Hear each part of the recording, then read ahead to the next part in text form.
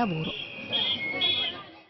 E dalle multinazionali passiamo ora ad occuparci delle piccole imprese che devono fare i conti con la eh, burocrazia che si conferma una delle palle eh, al piede più pesanti per la nostra economia con un costo non da poco sia in termini di tempo che eh, naturalmente in termini di denaro. Sentiamo Leonardo Rossi.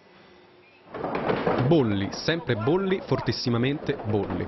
Si potrebbe riassumere con questa vecchia ma efficace battuta il rapporto tra le piccole e medie imprese artigiane e la burocrazia. Certo, l'informatica ha cambiato in meglio molte cose, ma star dietro a tutte le lunghe e complesse richieste della pubblica amministrazione, calcola una ricerca della CNA, costa comunque la bella cifra di 22 miliardi l'anno, 5 mila euro in media ad azienda. Per tutte le pratiche e gli adempimenti richiesti dall'amministrazione pubblica, più del 41% delle imprese impiega 3 giorni al mese.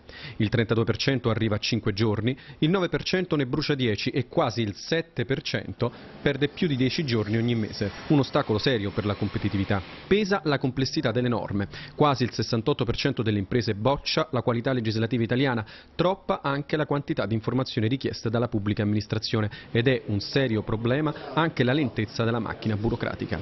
Che cosa fare allora per migliorare la situazione? Procedure e normative semplici, facili da applicare e che non cambiano tutti i momenti. La scia dell'edilizia dal 2011 è cambiata ben sette volte.